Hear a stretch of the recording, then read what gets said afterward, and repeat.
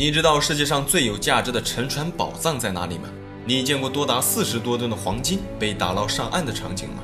在漫长的历史长河中，有难以计数的大小船只因各种海难或者人为事故葬身于海底，其中有一些船上曾装载有数量惊人的黄金以及珍贵宝物。据联合国教科文组织估算，在全球的大海底部共躺着高达三百万艘沉船残骸。世界上的沉船宝藏如果全部加起来，总价值可能超过了上百万亿美元。也正是因此，在世界各地出现了很多专门寻找打捞这些沉船的寻宝人或者公司，他们一直在不断的寻找这些海底沉船，以此去获取丰厚的报酬。今天这期视频，黑土就各位领导找出了世界上人类已经发现的八个最有价值的沉船，带各位领导一起了解一下这些海底宝藏。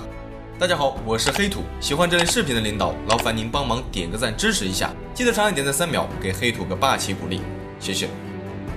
好，第八个黑石号沉船。这艘船也被称为唐宝船或者唐沉船。之所以会有这个名称，是因为虽然这艘船是一艘阿拉伯船，但船上却装满了我们国家唐朝时期的各种珍贵文物，总价值高达上亿元人民币。这艘阿拉伯商船大约在公元八三零年左右从阿拉伯驶入中国，然后装载了很多唐朝瓷器以及货物返回。就在返回的途中，不知是什么原因沉没。直到一九九八年，生活在加斯帕海峡附近的渔民才在加斯帕海峡十七米深的水域处发现了这艘沉船。于是，当地的渔民便把这则消息以及沉船的位置信息倒卖给了印度尼西亚当地的一家打捞公司。后几经辗转，最后由德国的一家打捞公司对其进行了打捞。从一九九八年的八月份开始，这家公司就开始对黑石号进行探索打捞。据估计，这艘船上仅是唐朝时期的瓷器就高达六万七千多件，其中还包括很多金银器和铜镜，每一件文物都价值不菲。打捞公司在将这些宝藏打捞上岸之后，曾开价四千万美金售卖，并提出所有宝藏必须一次性整体购买。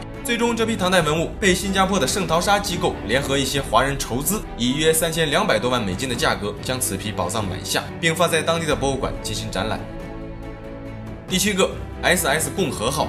SS 共和号是美国的一艘蒸汽船。一八六五年，这艘船搭载着五十九名乘客以及大量的金币和物资，从纽约启程，开往新奥尔良。不料途中遭遇飓风袭击。根据当年的报纸记载，船被飓风袭击后，船上的乘客全部乘坐救生艇逃生，但船上所装载的大量金币宝藏却随着船体下沉到海里。据史料记载，这艘船上共载有两万多枚金币，这些金币如今的价值一枚就可以达到三千美元，甚至到五十万美元不等。从沉没一直到二零零三年，这艘宝藏船才被美国的奥德赛海洋勘探公司在距佐治亚州海岸约一百英里的水下找到。奥德赛勘探公司寻找这艘沉船共花了整整十二年的时间。因为想要找到沉船的具体位置十分困难，只能通过各种历史文献以及电脑模拟，细细的分析当年的事情经过。找到沉船位置后，奥德赛公司通过一种特殊的水下遥控装置，对沉没在水下五百多米深的共和号拍摄了大量的照片，并且发现了共和号上的金币堆。等将这些金币打捞上岸之后，后才发现金币的数量要比历史文献中记载的更多。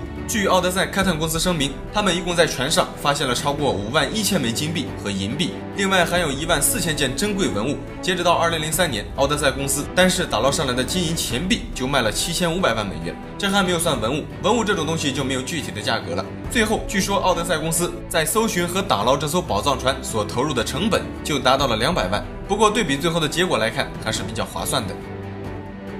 第六个，维达号。它是世界上第一艘有实物证实的海盗船。在没成为海盗船之前十八世纪初期，维达号曾经是一艘大型的贩奴船，主要被用来运送奴隶和货物。后来在海上遇到了著名的海盗头目黑山姆·贝拉米，从此维达号就成为了一艘让人闻风丧胆的海盗船。一七一一年四月二十六日，这艘船在海上遭遇暴风雨沉没，船上只活下来两个人。据估计，这艘船在沉没的时候，船上共装有大约五吨的金银财宝、六十多门大炮和一百四十四个人。由于年代久远，这艘船在失事之后，沉没时的确切位置都没有被记录下来，只流传下来一些传说。直到二百多年后，一九八五年，一位名叫克里夫的探险家在海里打捞到一个刻有“维达号”字样的船钟，这才得以确定当年的传说都是真的。维达号的身份已经确定，并得到了毫无疑问的认证。确认维达号沉没的地点后，人们就组织对其进行打捞。从发现船中到二零零八年，陆续在其范围内打捞出多达十万多件物品，其中多数都是银币和武器。由于打捞工作至今仍在持续，所以人们究竟在这艘沉船上发现了多少宝藏，至今还没有一个确切的定论。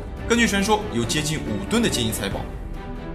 第五个，梅赛德斯号。梅赛德斯号是一艘装载着约五十九万枚金币、银币和其他工艺品的西班牙护卫舰。这艘船在一八零四年在葡萄牙阿尔加维附近被一艘英国战舰击沉，船上的五十九万枚金币与宝藏也随之沉没。船上的船员有二百五十人失踪，庆幸的是还有五十一个人在这次沉船事故中活了下来。过了两百多年后，直到二零零七年，这艘沉船才被美国的一家名为奥德赛海洋勘探公司的寻宝队发现。该公司在这艘船上共打捞起约五十万枚金币和银币，并且把这些宝藏运往美国。当西班牙研究人员得知此事后，迅速确定了奥德赛公司所打捞上来的宝宝藏就是西班牙的梅赛德斯号沉船。然后，西班牙研究人员便与奥德赛公司展开了一场法律斗争。最终，西班牙研究人员取得了该批宝藏的控制权，奥德赛公司白忙活一场。这还没完，到了二零一五年，西班牙研究人员还发表声明说，奥德赛公司在向上打捞提取金币时，损坏了梅赛德斯号沉船的残骸。总之，在这艘船上所打捞上来的宝藏数量非常惊人，但是运送文物的卡车就用了四辆。据硬币专家估计，打捞上来的五十多万枚金币与银币，单个的硬币价格就能达到四百到四千美元之间，均值为一千美金。也就是说，单是硬币的价值最少值五个亿美金以上，再加上还有一些文物，总价值无法估量。最后经过统计，从沉船中打捞上来的金币与银币重达十四点五吨。第四个，SS 中美洲号。SS 中美洲号是一八五七年沉没的一艘蒸汽船。一八五七年九月三日，这艘船载着四百二十五名乘客和一百零名船员以及十九吨黄金，离开巴拿马科隆港，开往纽约。在船上安全航行了九天后，也就是一八五七年的九月十二日，这艘船在卡罗莱纳海岸附近遭遇到了飓风，然后沉没。过了一百多年后，二零一四年的五月六日，美国的奥德赛勘探公司宣布，在美国卡罗莱纳海域发现了中美洲号，并且还在上面打捞出金条、金币和金锭。该公司利用一种遥控水下航行器，将船上的黄金打捞上岸。当时仅是一块重达三十六公斤的金锭，就卖到了八百万美金的价格。这块金锭在当时也被认为是当时世界上最有价值的货币。除了金锭，陆陆续续还从中打捞出各种金条、金币等黄金制品。后来过了一段时间，有一则消息指出，其实早在1988年，这艘船就已经被其他的寻宝团队发现并且打捞过一次了。据当时负责打捞的工程师声明，他带领的寻宝团队在随后的四年时间里，一共打捞出价值超过五千七百万美元的黄金。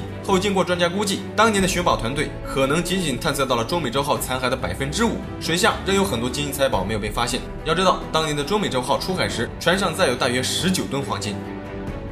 好，第三个盖尔索帕号，这是一艘装载有多达两百多吨白银的英国补给物资船。在二战期间，这艘船专为英军运送补给物资。一九四一年二月十七日，盖尔索帕号载着八十三名船员以及两名水手从印度起航，船上装载有茶叶、铁以及多达两百吨的白银，出发前往英国。不料在途中遇到了德国的潜艇，德国潜艇发现该船后，便对其发射了一枚鱼雷，鱼雷击中盖尔索帕号，导致该船在爱尔兰西南约四百八十三公里的海面沉没。当时船上的所有人员仅有一人生还。由于船上的物资价值不菲，当时英国人为了保密，便将盖尔索帕号的沉没地点进行消息封锁。直到二零一零年初，英国人。才聘请世界上最著名的打捞公司奥德赛公司对该船进行勘探打捞，仅仅用了一年的时间，奥德赛公司就宣称在海下约五千米深的海底找到了这艘船。到了二零一二年，奥德赛公司锁定沉船位置，开始了对盖尔索帕号的打捞工作。二零一三年，该公司宣布已经从近五千米深的海底打捞出六十多吨的银锭，因为打捞上来的只是一小部分，所以水下具体还有多少白银，至今仍没有一个确切的数额。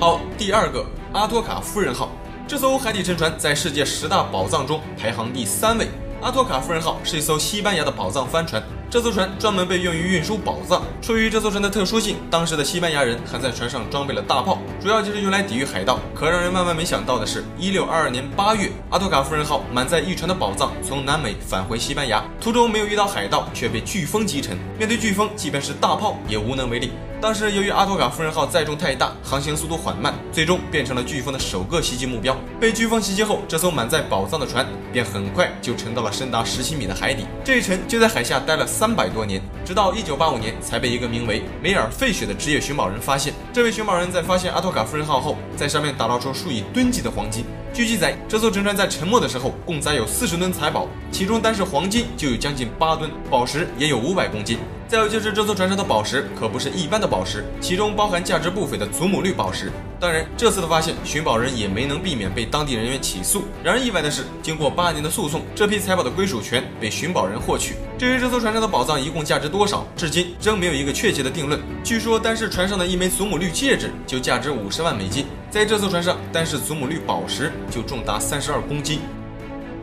第一个，圣荷西号沉船。在距离哥伦比亚海滩约十公里的加勒比海下，约七百四十米深的海底，有一艘装载着六十四门火炮的沉船。它于一六九八年下水，并于一七零八年在哥伦比亚卡塔赫纳以南的巴鲁岛附近沉没。据记载，这艘船当时载有价值约一百七十亿美元的黄金、白银和祖母绿宝石，船上装载有一千一百万个金币和许多银币。面对这样一个价值不菲的宝藏船，难免会因为归属问题所产生纠纷。据说，圣何西号沉船首次发现是被一群美国的一个名为“海海上搜索无敌舰队”的寻宝公司发现的。但是，由于该船的沉没地点在哥伦比亚境内，所以导致在归属问题上双方产生了纠纷。因为这个寻宝队并不是哥伦比亚人。二零一五年十一月二十七日，哥伦比亚海军利用水下航行器潜入水中，拍摄到了这艘沉没的宝藏船。通过视频，已经确定了这艘船就是沉没的圣荷西号。但是，哥伦比亚向外发出的声明声称，这艘大帆船只是一部分，并没有被完全找到。因此，当地在宪法上有义务保护和保存这艘船以及船上的所有宝藏。据估计，单是想要向上打捞这艘沉船，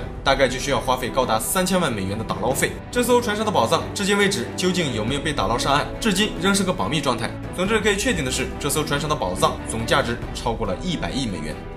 好了，这期视频就到这里了。觉得还不错的领导，记得帮黑兔点个赞，谢谢。